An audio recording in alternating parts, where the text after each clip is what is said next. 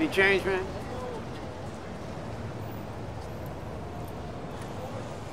Spare some change, kid? Excuse me, sir. I, I got nothing. You want to tell me you got nothing? Take the jangling change out of your fucking pocket first. And the ones that do stop to give you something, they they all got that self-satisfied grin all over their smug faces. Like they've just confirmed that they really are the most impressive fucking thing in the world. And you just gotta bow your head and say, God bless you. As if there isn't an actual exchange going on. Your bloated sense of self-worth is equal to the hole that's been ripped out of my dignity. See you, Jack! You don't choose to be me. You start off with dreams and optimism and hard work. And then you realize that those qualities were planted in you by the same force that's been conniving to smash you apart with a fucking sledgehammer. And then when you're lying on the floor begging that force for help, you notice, my God, it's laughing. And that's when it hits you that this evil fuck has been laughing the entire fucking time. And the only way you're gonna shut it up is to laugh right back in its face. And twice as hard. I sleep in that. As long as some asshole doesn't sneak in there first. The last prick I caught in there, still picking the glass out of his face. There's a place to piss out here, a place to shit, a place to fuck, and a place to die. And the only thing they got in common is you wouldn't be caught dead near any of them. But don't even think this shit can't happen to you. I wasn't born in a puddle. I used to be an executive. I started in the mailroom underground before I earned 19 raises and shot up 42 floors to have my own personal view of this whole fucking cesspool. I was also married to a wife, a beautiful one in a dress. She smelled like my mother, she'd kiss me whenever I wanted, and she cried when I was sad. I even ran for mayor once a few years ago. It wasn't my idea. If it was up to me, I'd just tell everybody to go fuck themselves. But this gang of politicians insisted I was relatable before they filled me full of drugs and forced me onto their campaign. He was in my cabinet. The angle was I knew the street, so who better to clean him up? I apparently was in the lead because the other guy had a hare lip and I told it like it was. But then the opposition invited me to this sort of debutante dinner party where I was framed for fingering a bunch of animals. The smear campaign was too much for my wife, and she blew herself up at a press conference.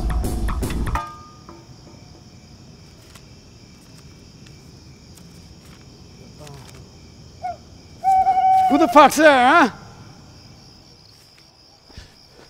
Oh, what is this? Is this the part where y'all jump out? Is that your big fucking plan? Fuck you! Fuck you! Bastard, you're dead! Fuck you! Fuck you! Fuck you! Fuck you! Fuck you! Fuck you! Fuck you! Fuck you, bastard! I still have a list of my policies for if I did or ever do win mayor. I'd start by tearing down every fucking billboard in the country. And the ones that are left standing would say horrible, horrible shit that would just make you puke. Then I'd shut down every TV station, make everyone live in the forest, and every CEO of every corporate shithouse would have to cut their heads off in front of everyone. And we'd still have a long fucking way to go. I mean, look around.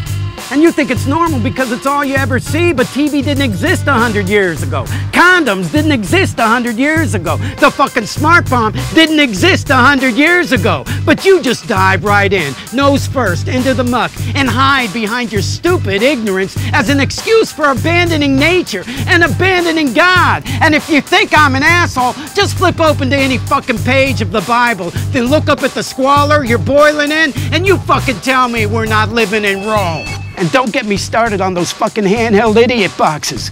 You're all walking around like a bunch of sleepwalking morons with your faces in your phones and your phones down here. So really what you're looking at is the ground, man. And they got you living your entire life staring into this, this little mirror where you just marvel at your own drooling reflection and your ego bathes in itself and your whole fucking life goes by in a meaningless blip. And even that blip is shorter now and it's because of that fucking phone because it's pumping toxic waves of DNA mutating crap into your body and filling your prostate and your tits and your brains with cancer. And it's doing it at all times around the fucking clock, even while you're asleep. And why? So you can delete your fucking email.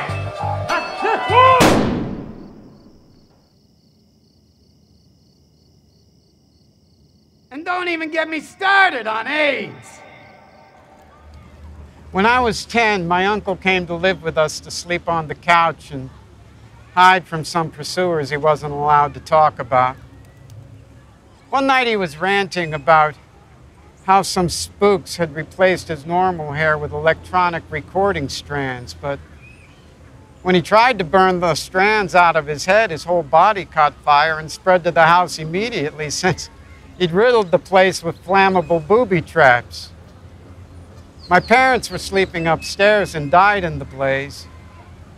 I was sleeping in my treehouse that night, which was right outside their window, so I was at the perfect angle to hear the screams. I had earlier been diagnosed with the same disorder as my uncle, but my prescription burned up in the fire, so I forget. I remember the pills were yellow. And while they did lower the volume of everyone shouting, they would also turn your teeth black and make your dreams tell you to break things. You know what Freud says about the nature of horror? He says it's when the home becomes unhomelike, unheimlich. And that's what this place has become.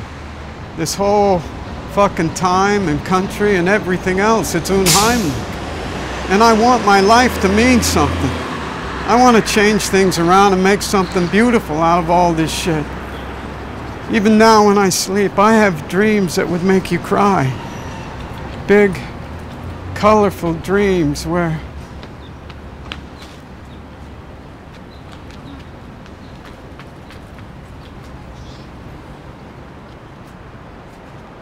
That's my daughter.